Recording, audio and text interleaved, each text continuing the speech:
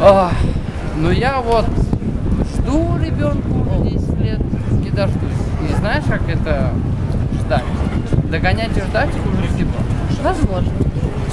И я тоже всегда, это, это может мой грех, я всегда говорил матери, да, в том числе, когда ты женишься, я говорю, не женюсь, не хочу. Я хочу внуков, ей 62 года. Когда, говорит? Я говорю, даже не жди. Не хочу детей. Прекрасно, почему нет? Да, я говорю, я за свободу. Я хочу быть свободным. Тем более я творческий человек. Тогда почему же против аборта? Это же свобода.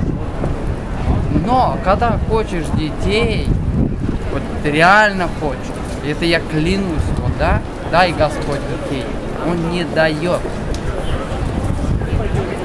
Это Значит, вроде, это вроде кажется все раз вот так вот, по мгновению ока, раз вот так и нет. Попробуйте, не знаю, если вы верующий, может, надо поверить во что-то. Уже говорили, ваша сестра приложилась к плаченице, забеременела. Я верю в случайный генетический набор хромосом и несочетаемость Им- им- биологическую. И- им врачи за 10 лет чего только не наговорили. А что мешает усыновить ребенка? Нет, против этого. Почему? Думали? Думали усыновить? Несчастные дети, Не, мы думали не усыновить, мы думали, что какая-то девушка родила от меня. Суррогатное материнство. Да. Это, кстати, насилие над другой женщиной. Да, потом я подумал, во-первых, что я скажу ребенку через там, когда он вырастет, скажу, что у тебя мама там где-то там, все равно он узнает. Ну, допустим. Я не смогу смотреть ему в глаза. Так идеальный вариант усыновить ребенка. А своего хочется. Ну, мне нет, но если вам хочется. Я после того, как увидел чудо от сестры, вот вы видели, да, фотографию? Да здорово. Копия себя. Хотя это мой племянник, да, получается. Я понял, что такое увидеть своего. Видите, это эгоизм. Мы очень эгоистично смотрим на процесс рождения. Все эгоистичны. Мы хотим увидеть Люди свою маленькую копию. Да. Это ужасно. ужасно. Кошмар. Дети это Кошмар. не маленькая копия родителей. А, люди... Но каждый хочет увидеть своего маленького проблема. клоника. А как не хочет? Ну зачем? Это новая личность, это новый человек.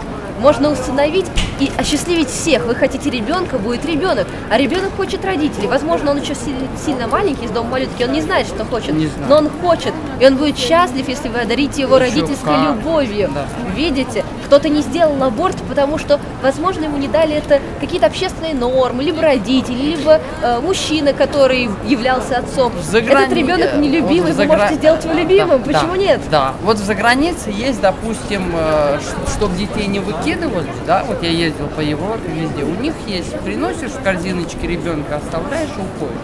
У нас в России три таких места есть, да, с этого года. То есть много детей выбрасывают на мусорки, Ужасно. убивают и чего только Вот нет. проще, гуманнее сделать аборт, если ребенок нежеланный. Нет, проще принести туда, оставить, а там его судьбу решат. Нет, проще сделать аборт, потому что а, роды это очень а, болезненный, неприятный и насильственный для женщины процесс, который доставляет ей массу дискомфорта, проблем и патологии.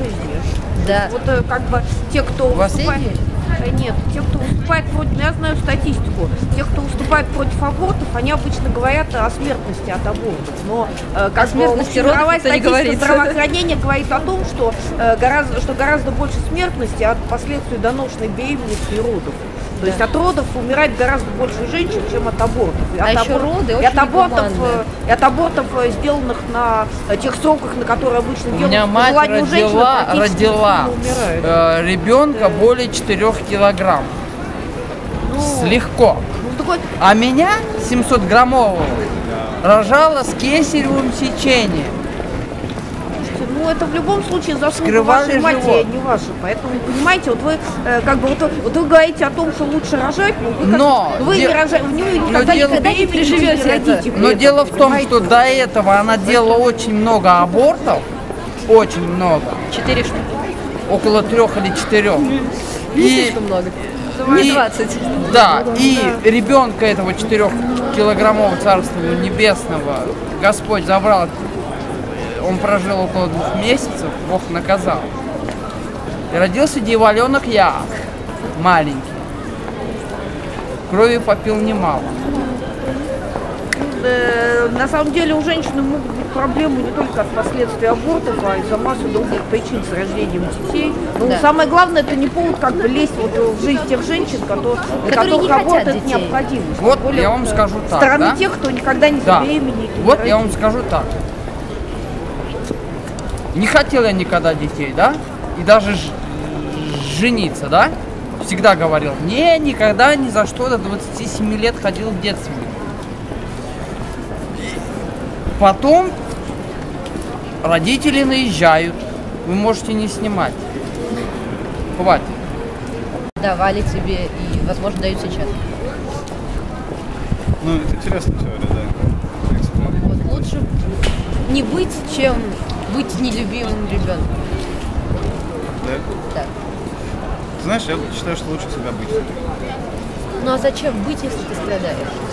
Думаю, что ты ну, сам себе куешь жизнь, ты сам себе делаешь то, что ты, ну, то, что ты добиваешься. Ты можешь да, ты родиться в условиях, которые, условия, которые, ну, быть ужасными, но при этом ты, если ты сильный человек, если ты нормальный, вот, если тебя не бросят со скалы, там все такое, вот, ты добьешься все равно в жизни того, что, ну, куча жизней есть таких. Ну да, но как бы это дальнейшая жизнь. Представляешь, сначала женщина, ну, мать, допустим, вынашивает тебя и думает, боже, я его ненавижу, я его не хочу, меня заставили, я не могу не рожать, потому что иначе мои родители откажутся от меня, допустим, а я их так люблю и не могу этого допустить. И вот мать вынашивает тебя, вынашивает, рожает в муках, простите, пару секунд, он убирает за ним памперсы и заботится о нем до 20 лет, пока он не станет нормальным, ты испортил жизнь ей, говоря, и себе, потому что все детство ты слушаешь о том, какой ты говнюк и как тебя не любят.